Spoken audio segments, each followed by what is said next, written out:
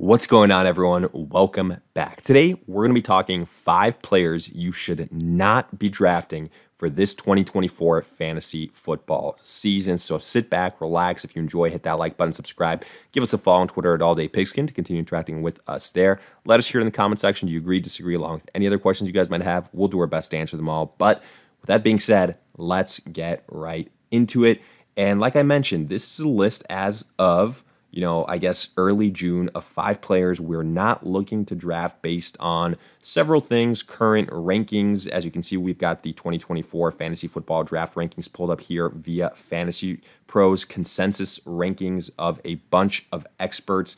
Uh, based on PPR scoring, just so that you guys are aware. But like I said, this is based on ADPs, this is based on fit, based on injuries, etc. Some other concerns. So yeah, uh, let's get into it without further ado. And these are going to be some bigger names, you know, within the top 50, I would say, all five of them. So we kick it off with none other than Josh Allen of the Buffalo Bills quarterback. And a lot of people, people's eyes, QB1 for this 2024 fantasy football season. And look, I get it. He's got the talent, right? I've got him as a tier one quarterback. I do, hand up. Um, arm talent, rushing upside, rushing touchdown upside. The rushing upside is a cheat code for fantasy football purposes. But this is more so me nitpicking. Honestly, the first overall quarterback being selected in general and how high Josh Allen is being ranked when you consider some of the losses that the Buffalo Bills have had on top of that. But what I mean by this is I feel like for fantasy football purposes, you never want to be the person that drafts the first overall quarterback. I said it last year and I believe it held true. I've said it in years prior. Look, last year, probably somewhere in the middle of the second, end of the second, is where you saw that first quarterback be taken. But then there was a gap. There was like a full round gap, round and a half, until that last tier one quarterback was selected. So last year was the group of Allen, Mahomes, uh, Jalen Hurts. Now this year, you know, similar type of group, but maybe you could argue a Lamar or a CJ Stroud can also be in that grouping, which makes that tier even uh, larger. And the reason I say you never want to be the first person to select that first quarterback is because, okay, if you spend your second round pick on a quarterback, I mean, you're essentially passing up an RB1 or a wide receiver one, which is a lot more rare compared to the depth at the quarterback position and you being able to survive a fantasy football season and you know even make it far and win one if you wait on a quarterback until like the late late rounds, double digit rounds, something like that. So uh, that's the main logic there. You know, on top of that, look with Josh Allen, you lose Stefon Diggs and you lose Gabe Davis. Sure, you've still got Dalton Kincaid there, which is nice. James Cook emerged this last year. Um, but what did you do to replace those guys? Well, essentially, you got Curtis Samuel, who, I mean, no slight against Curtis Samuel, but he's never been an elite wide receiver. You drafted Keon Coleman. Okay, you know, the upside is there, but like, what's going to happen? Uh, Shakir is there as well, but I don't think there's a true, true number one wide receiver on this team. And I'm worried that we're not going to see the same passing production from Josh Allen, from this Bills offense in general, as we've seen in the years prior. All those things compiled with the fact that, you know, you could do a lot better selecting the second overall quarterback or the third overall quarterback around two later. For that reason, to me, Josh Allen would land on this do not draft list at his current ADP. But let's move on. Next up, we've got Mike Evans of the Tampa Bay Buccaneers. Comes in at, per these rankings, wide receiver 15. But, you know, the uh, mocks that we've done, we've done a bunch of them so far. Typically, where we see Mike Evans being drafted is the end of the second round. And this is in full PPR scoring as well. So, look, I get it. Mike Evans had a great season last year. He outproduced and uh, as a result is in a lot of people's good graces right now. But he's getting up there in age and I, I still vouch that he's not this PPR type of stud wide receiver. You know, he's the uh, big target, higher touchdown upside type of guy. And the other aspect of this is like are we really, really confident in Baker Mayfield duplicating all the success that he had last year? And, you know, it's great to see that he got the contract, Mike Evans got resigned, all these things. But look, Baker Mayfield, in his entire NFL career, he has never put two back to back solid NFL seasons.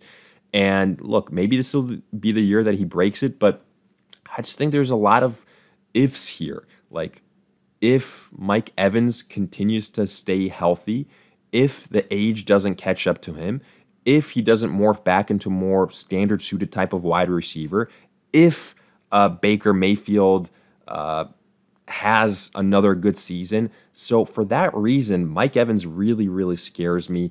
And then when you compare him with the other wide receivers here, you know, names like Jaylen Waddle, Nico Collins, I think that these are some more enticing wide receivers. And, you know, on offenses where you have a little bit more faith, like you know that Tua is going to air it out. You know CJ Stroud is going to air it out. Nico Collins, the top overall wide receiver for Houston. So I think that there's some other guys here that get a nod above Mike Evans. And again, with the age, with the question marks at the quarterback position, Mike Evans right around the end of the second round, I think that is too rich for my blood. I would rather go elsewhere at that point in time. But let's continue to move on to the number three name on this list. And it is actually another wide receiver. That is Deebo Samuel of the San Francisco 49ers. And I mentioned Deebo Samuel in a separate video where we kind of mentioned like boom or bust guys. And the more I've thought about it, the more I'm kind of leaning Deebo Samuel uh, could be in that bust category, especially where he's currently ranked, which is like, you know, 33rd overall, top 20 wide receiver, uh, basically a round three selection at the wide receiver position. And um, similar situation here uh, with Deebo Samuel. You know, he's a guy that, yes, he has produced in the past, so he gets love from that perspective. But if we go back a couple years where he had his first breakout season, um, you know, in San Francisco, a lot of it had to do with the success he had on the ground. I mentioned this before. Since then, though, like there's been injuries, the rushing uh, usage hasn't really been there. And then obviously that can be accounted for with the addition of Christian McCaffrey, best overall running back in the entire NFL. So Deebo Samuel not going to be used in that same way. On top of that, you look at this offense, it's absolutely loaded to the gills. The aforementioned Christian McCaffrey, you've got George Kittle, you've got Brandon Aiyuk, you've got Deebo too. You drafted a first round receiver from Florida and Pearsall. So, like, there are a lot of bodies here. Then you take into account that um, there's been trade rumors. So, I'm really, really concerned about Deebo Samuel here. I think you could honestly make the case that in terms of pecking order, he's behind McCaffrey, he's behind Aiyuk, he's behind George Kittle, and what that leaves him fourth overall. Like this offense, I get it. Brock Purdy had also a breakout season, but he's not going to maintain, sustain four fantasy relevant weapons week in and week out. Like other than McCaffrey and Aiyuk, it's kind of a crapshoot afterwards. And I'm sorry, but a third round selection at the wide receiver position when there's other guys here, um, again, like a Nico Collins, Stefon Diggs, Cooper Kupp, uh, that DK Metcalf maybe that you can look towards them. I think that those are much, much safer bets. I think there's too many mouths to feed. And even though that's maybe not a problem in real life NFL, when it comes to fantasy football perception, that is definitely a problem. Too many cooks in the kitchen. It's a real thing. Not all of these guys are going to get you a thousand plus yards. And I definitely see Deebo Samuel uh, kind of being the one that sticks out as the potential biggest loser. But moving on here, uh, our uh, second to last name, De'Von Achane, running back, Miami Dolphins. So again, another guy that last year showed a lot of flashes. People got really excited about him. Uh, but then injuries unfortunately kind of took away that excitement from us. I mean, hell, Raheem Mostert ended up being a top five running back and he's still in Miami, folks.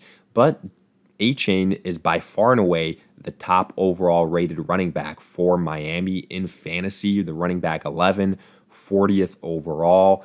And I, I get the hype. Like, you know, Raheem Mostert hasn't really ever stayed healthy for a full season other than kind of last year, right? Uh, with some small exceptions. Um, Achane is much younger, much less, you know, serious injury history, and he's got the momentum. But the Dolphins did also draft Wright uh, at the running back position, rookie. So he's an explosive running back. On top of that, you look at the coaches there in Miami, they come from that San Francisco line of head coaches, uh, coaching tree of before we got Christian McCaffrey in San Francisco, they were going with a running back by committee approach. They were going with a hot hand approach. So I would not be shocked at all. Okay, Achane maybe opens up as the starter or, or as the co-starter, but you know, if other guys are playing as well as him or a little bit better, like he's not going to get the elite usage, the elite volume. And if the home run hitting ability that we saw last year, super high efficiency, and typically at the running back position, that is pretty damn hard to duplicate.